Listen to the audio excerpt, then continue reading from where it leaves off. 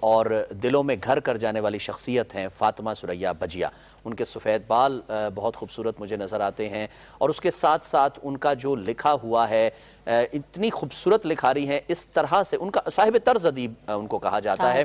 یعنی ان کا اپنا ایک صاحب طرز ان کو کہتے ہیں جن کا اپنا ایک اسلوب ہوتا ہے جو کسی بھی اسلوب کو کسی بھی سٹائل کو کاپی کرتے ہوئے نظر نہیں آتے یا ان کا سٹائل کسی کے ساتھ ملتا نہیں ہے۔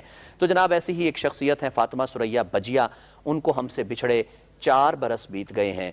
ان کا فن کیسا تھا، ان کی شخصیت کیسی تھی، نہایت خوبصورت تھی یہ تو ہم جانتے ہیں۔ لیکن ہمارے نمائندے ہیں نثار مہدی جو اس وقت پینل پر بھی بیٹھے ہوئے ہیں۔ انہوں نے یہ رپورٹ مرتب کی ہے آپ کے لیے، وہ آپ کو دکھاتے ہیں۔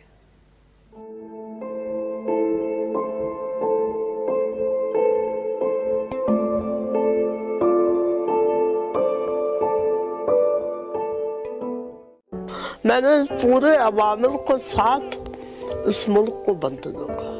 فاطمہ سریہ بجیا صرف ایک ادیبہ اور ڈرامہ نگار نہیں بلکہ ایک تہذیب کا نام تھی۔ ان کی تحریروں میں ایک عہد کی جھلک نظر آتی ہے جہاں شائستگی روایات اور رشتے خاص اہمیت کے حامل تھے۔ وہ میرے سرپرست ہیں۔ اگر آئندہ میں نے تمہاری زبان سے سرپرست کا لفظ سنا تو اچھا نہیں ہوگا۔ میں تم کو منہ دکھانے کے لائق نہیں چھوڑوں گا۔ بجیا ایک علمی اور ادبی گرانے سے تعلق رکھتی تھی۔ شعر و سخن سے ان کا مزاج بچپن سے ہی آشنا تھا۔ ٹیلی ویژن کی ابتدا سے ہی وہ اس سے وابستہ ہوئی۔